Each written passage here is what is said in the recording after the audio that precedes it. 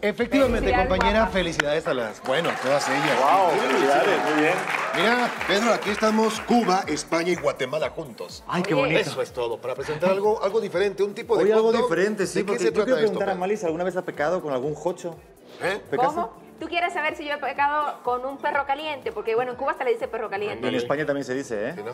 Pues los, lo- los pecados son, perritos calientes son hot dogs, pero también hay perdones, que son ensaladas. Así que vamos a ver el reportaje, chicos. Adelante. No entendí nada. Hoy me vine a cenar a un lugar donde combinan perfectamente el pecado y el perdón. Así que, ¿y tú de qué lado estás?